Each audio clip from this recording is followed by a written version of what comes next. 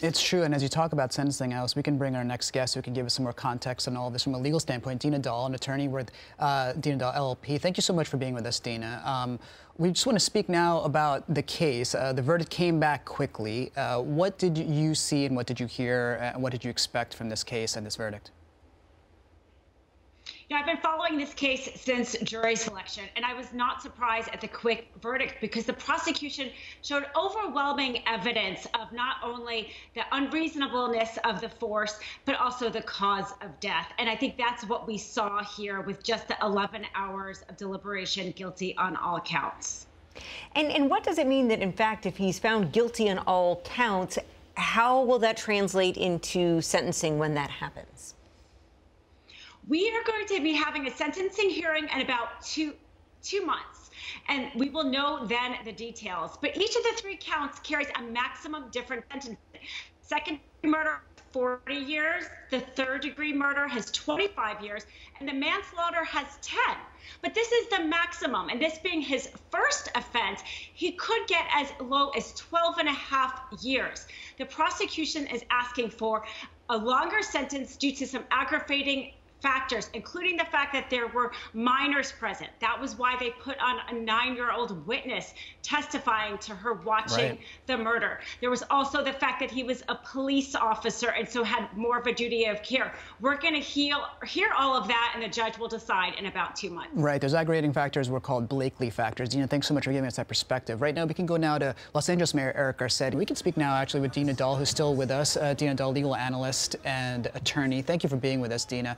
Uh, Uh, we were just speaking about sentencing, and we were talking about aggravating factors just before we heard from Reverend Sharpton. Just going a little further on that, what you think we might see, because we know these aggravating factors may mean that the judge could extend the sentence beyond the 40 years prescribed by Minnesota law. What do you expect?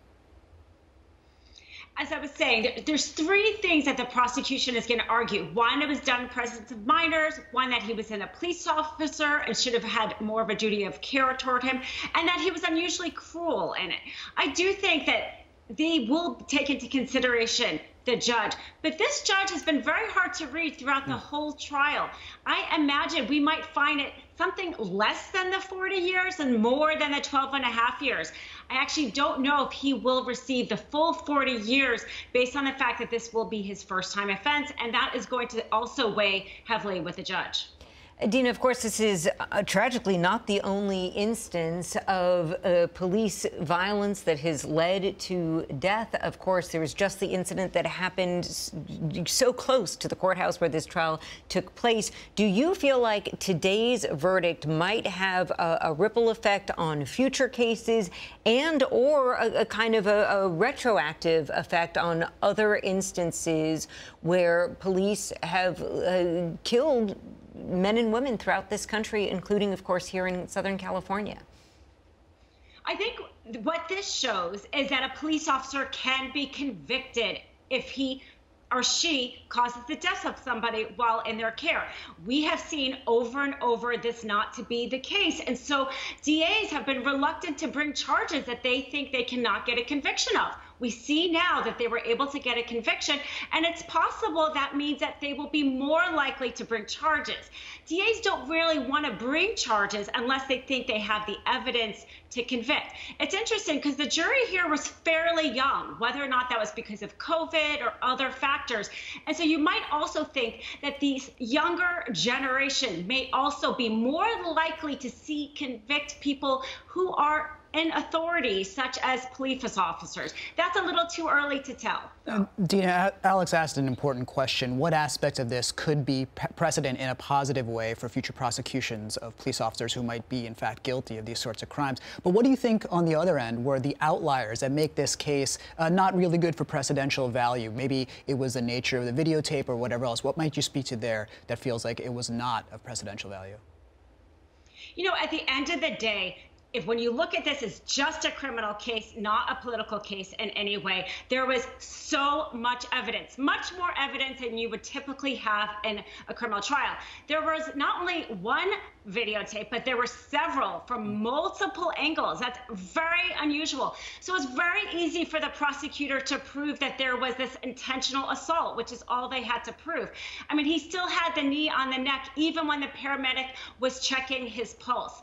That type of overwhelming evidence is unusual in any type of criminal case.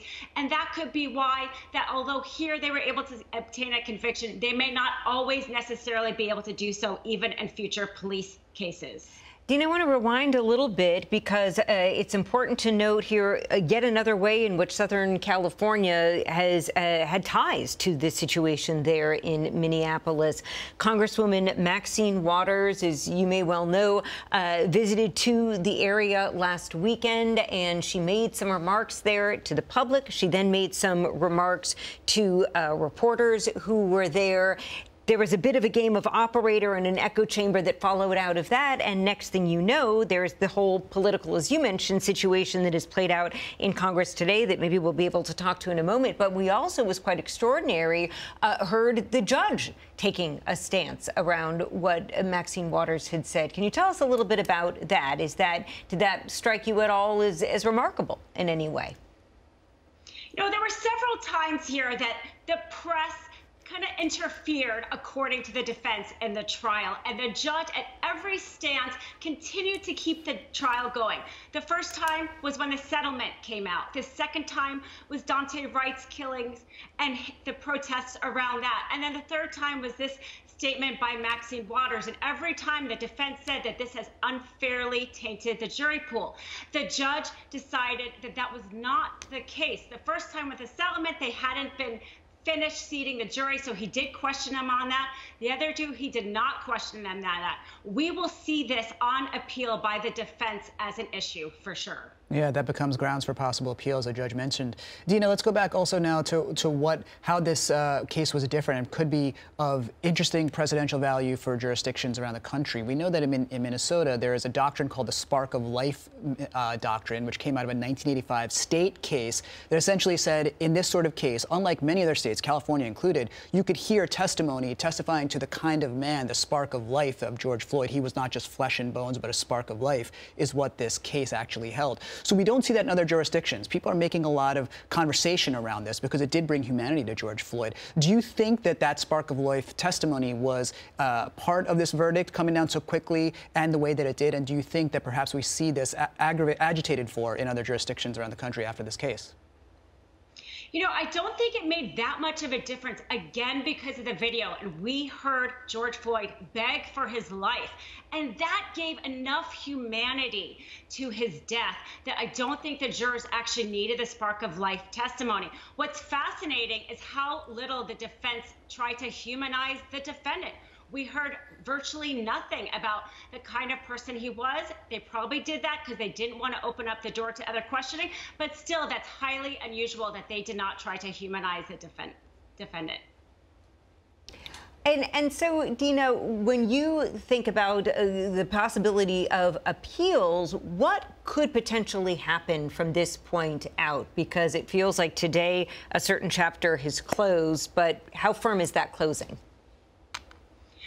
A defendant will always appeal in a conviction, and there will be several grounds to it.